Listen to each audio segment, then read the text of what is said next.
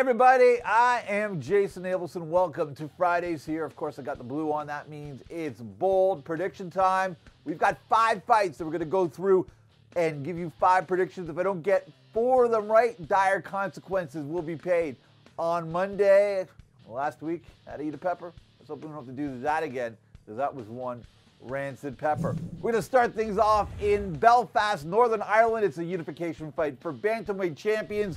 WBA champ Zhanat Zhakiyanov and Ryan Burnett, the IBF champion. This one is a real doozy. Both guys are, are very strong in the ring.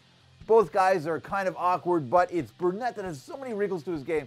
Zakhaev is not so much awkward, really, but he's a straight ahead type of fighter, just brings the pressure, pressure, pressure. Burnett loves that. He's more of a pressure guy, too, but he's very awkward. You know, his stances are awkward. He comes from some crazy angles. He throws a lead right hand that's almost squared up when he throws it, comes up like a jab. Really a terrific fighter and very, very strong, like a rock in there. And because of those wrinkles and because of that physical strength, I like Burnett in a unanimous decision to unify the belts at bantamweight. Next, we cross the pond to Jersey, Newark, New Jersey, the Prudential Center, home of the last quarterfinal in the World Boxing Super Series cruiserweight bracket. IBF champion Murat Gassiev defending against two-time world champion Krzysztof Wlodarczyk. The winner gets Yunier Dorticos in what would be a terrific semifinal. And this one is really interesting. You've got the oldest guy in the competition in Wlodarczyk going up against the youngest guy in the competition in Gassiev. The age range is, I think, going to be substantial because I think you've got a guy who's on the really the fading side of his career in Wlodarczyk versus a guy who's definitely on the rise in Gassiev. But Wlodarczyk, don't let the age fool you. It will be an issue, but he has adapted to where he is in his career. The legs aren't what they used to be. So whereas Wlodarczyk used to be a guy that would move around the ring a lot, off the jab and play off angles, he's more of a stationary guy now, but he gets by on some very sharp counter punches, and he's very wise and crafty inside. He's great in the clinch. Having said all that, I don't think that will be enough to overcome the physical package and strength and speed and angles and fluidity that we see with Murat Gassiev. I like Murat Gassiev to stop Krzysztof Wlodarczyk in the eighth round to retain his IBF title and move on in the tournament. Next, we cross state lines from New Jersey to New York, Verona to be exact, the Turning Stone Resort and Casino, where we're going to have a great HBO double bill.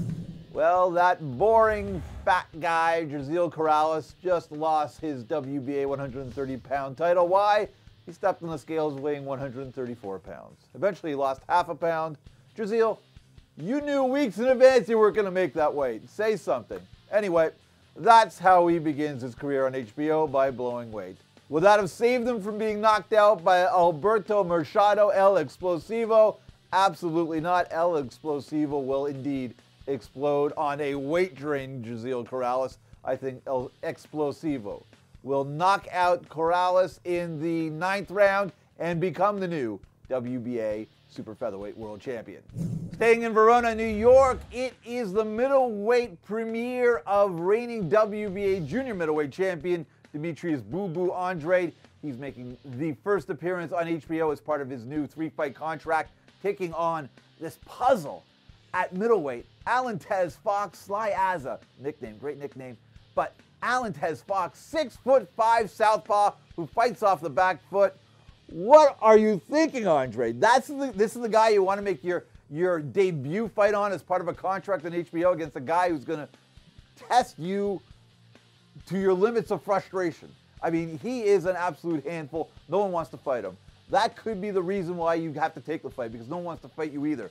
So these two guys that no one wants to face are facing each other. Hopefully, it turns into something more than just a chess match and a test of endurance for Andrade to overcome that physical riddle that is Fox. I think he'll do it because I think Andrade is that good a fighter, but it is going to be a test.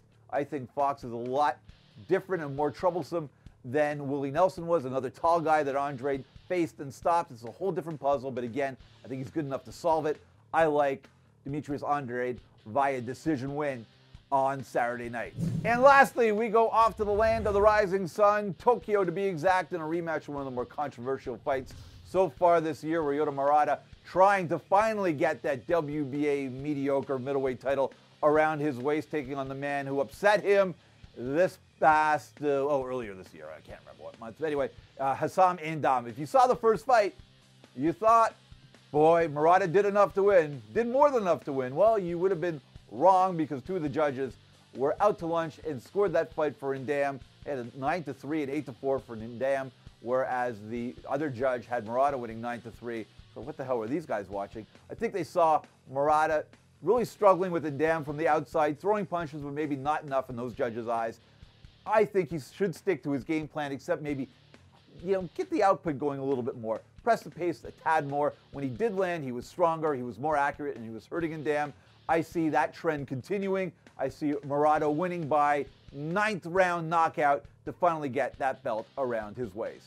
So let me know. What'd you think? Was that on point or on crack? Leave your comments in our comment section. And of course, your predictions as well. We love to know what you think about these fights. If you haven't already subscribed to the best source of news, information, and predictions anywhere, when it comes to the sweet science, what are you waiting for? Get on board and subscribe to Boxcaster.